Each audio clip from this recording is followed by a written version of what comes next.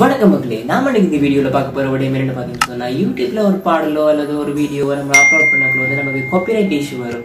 So இந்த மாதிரி copyright issue வரக்குள்ள அந்த காப்பிரைட் இஷ்யூ இல்லாம நம்ம அந்த பாடலையோ ஒரு வீடியோவோ எப்படி நம்ம என்ன டெக்னிக் யூஸ் பண்ணி அந்த வீடியோஸையோ அந்த சாங்ஸையோ நம்ம அப்லோட் பண்ணலாம்னு சொல்லிட்டு நம்ம இந்த வீடியோல பார்க்க போறோம்.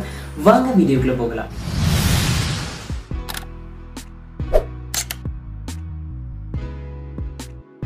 பொதுவாக பார்த்தீங்கன்னு சொன்னா யூடியூப் சேனல் ரன் பண்றவங்களுக்கு வர பிரச்சனை என்னன்னு பார்த்தீங்கன்னு சொன்னா இந்த காப்பிரைட் பிரச்சனை தான். இந்த காப்பிரைட் பிரச்சனையிலேருந்து எந்த மாதிரி நம்ம எப்படி தப்பிக்கலாம்னு சொல்லி தான் சின்ன சின்ன டெக்னிக்ஸை வந்து நான் இதில் சொல்ல போறேன்.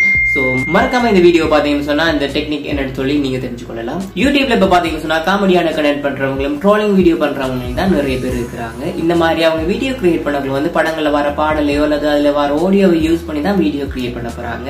இந்த மாதிரி அவங்க கிரியேட் பண்ணவங்க வந்து அவங்களுக்கு காப்பிரைட் இஷ்யூ வரலாம்.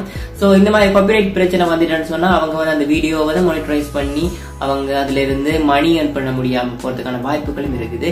ஸோ நம்ம வீடியோ அப்லோட் பண்ணக்குள்ள வந்து காப்பிரைட் பிரச்சனை வராம எப்படி இருக்கலாம்? எப்படி நம்ம வந்து அந்த ஆடியோவை அந்த வீடியோவை காப்பிரைட் பிரச்சனை வராமல் அப்லோட் பண்ணலாம்னு சொல்லி தான் நம்ம இந்த வீடியோவில் பார்க்க போகிறோம் மறக்காம இந்த வீடியோ ஃபுல்லாக பார்த்தீங்கன்னா சொன்னால் அந்த டெக்னிக்கை நீங்கள் புரிஞ்சுக்கொள்வீங்க. இந்த வீடியோ பார்க்குற நீங்களும் கண்டிப்பாக யூடியூபராக தான் இருப்பீங்க. ட்ரெண்டிங்கில் இருக்கிற என்ஜோ என்ஜாமி சாங் தான் நான் டவுன்லோட் பண்ணி என்னோட சேனலில் அப்லோட் பண்ண போகிறேன் முதல்ல இந்த வீடியோட லிங்கை காப்பி பண்ணி எடுத்து டவுன்லோட் பண்ணிக்கொள்ளுங்க இந்த வீடியோவை இந்த வீடியோவை என்னோட சேனலில் அப்லோட் பண்ணி உங்களுக்கு லைவ் ப்ரூஃப் கார்டு இருக்குது ஸோ மறக்காம இந்த வீடியோ ஃபுல்லாக பார்த்தீங்கன்னு சொன்னால் அந்த டெக்னிக் என்னன்னு சொல்லி நீங்கள் தெரிஞ்சுக்கொள்வீங்க.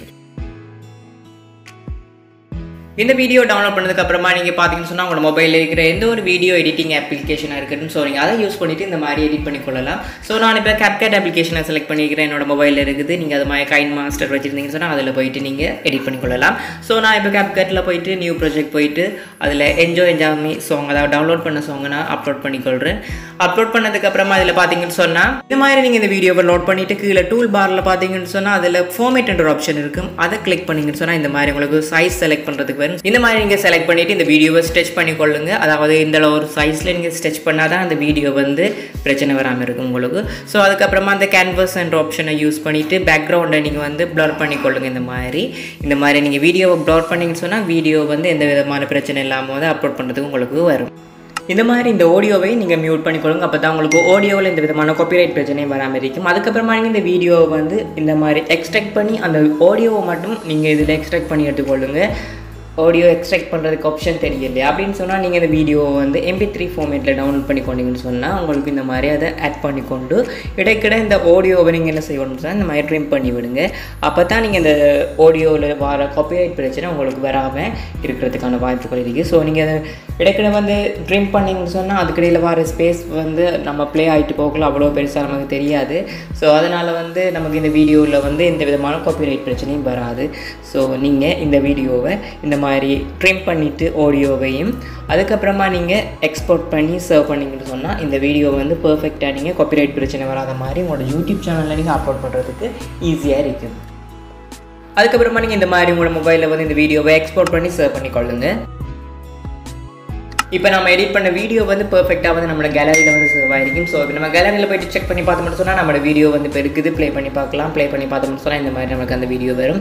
ஸோ இந்த வீடியோவை நம்ம என்னோட சேனலில் வந்து ஆல்ரெடி நான் அப்லோட் பண்ணி வச்சிருக்கிறேன்.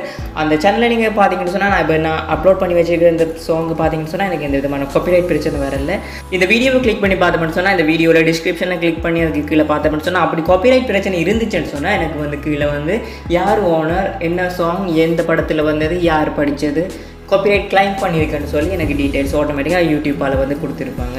எனக்கு இந்த சாங்குக்கு வரல ஸோ அதனால் இதில் பார்க்கலாம். அதுக்கப்புறமா யூடியூப் ஸ்டூடியோவில் போயிட்டு உங்களுக்கு காட்டுறேன். இந்த மாதிரி பார்த்தீங்கன்னு சொன்னால் ரெஸ்ட்ரிக்ஷனில் பார்த்தீங்கன்னு சொன்னால் நொன்னு இருக்கும். ஸோ எனக்கு இந்த விதமான காப்பிரைட் பிரச்சனையும் இந்த சாங்குக்கு வரல ஸோ இந்த மாதிரி நீங்கள் எடிட் பண்ணி உங்களோட சேனலில் அப்லோட் பண்ணி பார்த்தீங்கன்னு சொன்னால் உங்களுக்கும் இந்த விதமான காப்பிரைட் பிரச்சனை வராது. இதுதான் என்னோட லைவ் ப்ரூஃப் காட்டியிருக்கேன். ஸோ நீங்களும் இதை ட்ரை பண்ணி உங்களோட சேனலில் அப்ளை பண்ணி பாருங்கள் இந்த மாதிரி உங்களோட சேனல்ல நீங்க வீடியோவை கிரியேட் பண்ணி அப்லோட் பண்ணி பாருங்க. உங்களுக்கு காப்பிரைட் பிரச்சனை வராது. ஸோ நம்ம அடுத்த வீடியோல காப்பிரைட் இல்லாத ஆடியோ வீடியோ எங்க இருந்து எடுத்து நம்ம என்ன மாதிரி வீடியோ கிரியேட் பண்ணலாம்னு சொல்லி தான் நம்ம அடுத்த வீடியோல பார்க்க போகிறோம் அது வரைக்கும் உங்களை வந்து விடைபெறுகிறேன். நன்றி வணக்கம்.